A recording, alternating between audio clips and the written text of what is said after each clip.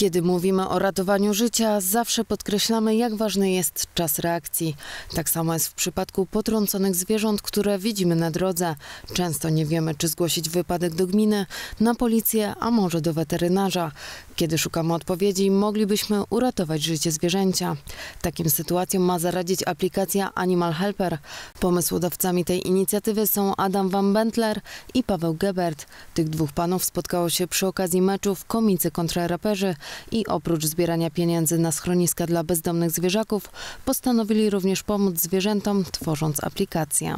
Z jednej strony mamy już e, w zasadzie wszystko, żeby wystartować e, z, z programowaniem, z drugiej e, jest też sprawa, no sama aplikacja to jest taki początek, to jest taki dobry początek w ogóle do, dla zreformowania całego systemu obiegu informacji, bo w takich prostych sprawach, jak no dajmy na to, nie wiem, potrącenie psa, czy dzika, e, co zrobić w takiej sytuacji? No też ludzie nie są szkoleni, e, jaki, który numer wybrać, czy kto się tym zajmuje. Najczęściej dzwoni się na policję, a policja, jako że nie ma w ogóle ani narzędzi, ani pojazdu, ani tak naprawdę jakiejś merytorycznej wiedzy, no to oni tą, um, oni tą sprawę cedują na innych.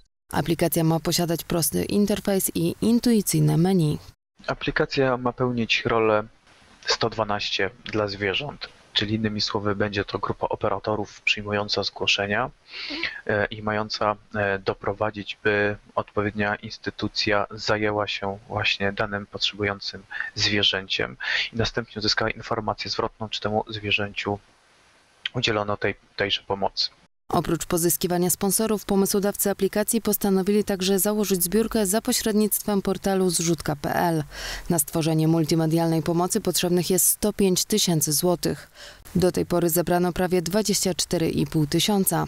Aplikacja ma służyć nie tylko w sytuacji wypadków drogowych, ale będzie można tam również zgłosić przypadki złego traktowania zwierząt. Najczęstszymi przypadkami niehumanitarnego traktowania e, zwierząt w naszym kraju e, są to przypadki dotyczące zwierząt domowych, głównie psów trzymanych na zbyt krótkiej uwięzi, e, w nieodpowiednich budach, które nie chronią przed szkodliwymi warunkami atmosferycznymi, kiedy zwierzęta nie są karmione czy też bite. To są takie najczęstsze e, przypadki i w takich sytuacjach mam nadzieję, że aplikacja usprawni te e, działania w naszym kraju, system ochrony zwierząt w naszym kraju.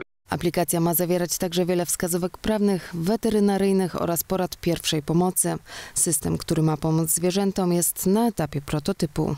Plan jest taki, że robimy aplikację w trzech postaciach, w sensie na iOS, czyli na oprogramowanie, na iOS, Android i e, wersję webową, dzięki której e, będzie można nawet wklepać na stronie e, po prostu adres i tam też pojawi się szereg tych opcji.